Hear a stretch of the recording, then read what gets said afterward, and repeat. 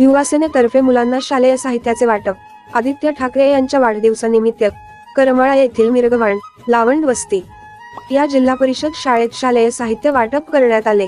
युवासेना तालुका प्रमुख शंभूराजे फरकडे यांच्या संकल्पनेतून आदित्य ठाकरे यांच्या वाढदिवसानिमित्त भगवा सप्ताह हा कार्यक्रम सुरू करण्यात आला आहे. आणि याच उपक्रमांतर्गत आज करमाळा तालुक्यातील लावंड वस्ती शाळेतील पहिली ते पाचवीतील विद्यार्थ्यांना वही पेन तसेच पट्टी शार्पनर कोडरबर सिस पेन्सिल यासह खाऊचे वाटप करण्यात आले. यावेळेस मुख्याध्यापक प्रमोद काळे शाळा समिती अध्यक्ष सचिन लावण ग्रामपंचायत सदस्य पैलवान श्रीराम सुरवसे पैलवान मोतीराम लावण वीरू ठोंबरे सर युवासेना शाखा प्रमुख निरंजन निकम आदी उपस्थित होते.